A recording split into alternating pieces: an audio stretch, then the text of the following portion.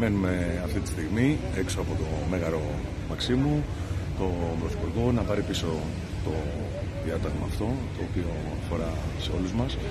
όλους μας που έχουμε σπουδάσει τρία χρόνια και όχι μόνο, αλλά 23, 50, 60 πάνω στη σκηνή, ε,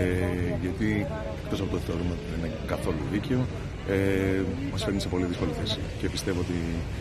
ε, αν δεν το πάρει πίσω, σίγουρα θα κινητοποιηθούμε ακόμα περισσότερο.